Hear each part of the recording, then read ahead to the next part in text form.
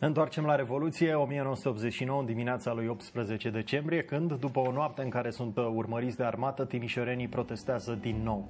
Armata se simte sfidată și devine mai agresivă, un instrument al terorii despre care Ceaușescu află că ține situația sub control. Între timp, în Austria apar primele știri despre represiunea de la Timișoara. Asta ține de cuvântul miracol. Poate că gândirea critică dă soluții proprii miracolului Timișorean.